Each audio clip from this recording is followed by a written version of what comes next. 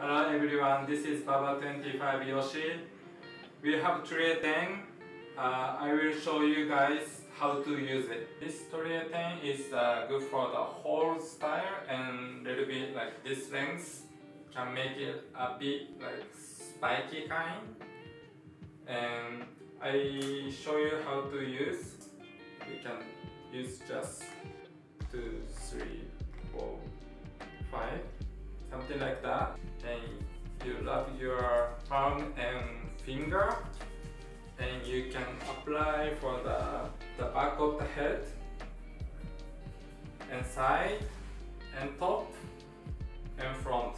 And then you make it like little bit this volume you can make it the volume and the front is only a little bit. And you need to tight for the, the this position